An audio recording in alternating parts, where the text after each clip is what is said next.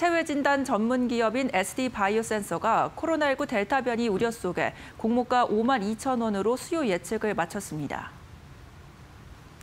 SD 바이오센서는 지난 5일에서 6일 진행된 기관 대상 수요 예측에서 경쟁률 1143.76대 1을 기록하며 공모가를 희망밴드 최상단인 5만 2천 원으로 결정했다고 7일 공시했습니다. 한편 기관 투자자들이 일정 기간 팔지 않겠다고 약속하는 의무 보육 확약건이 161건에 불과해 전체의 약 12%에 그치며 상장 초기 매물 부담이 예상됩니다.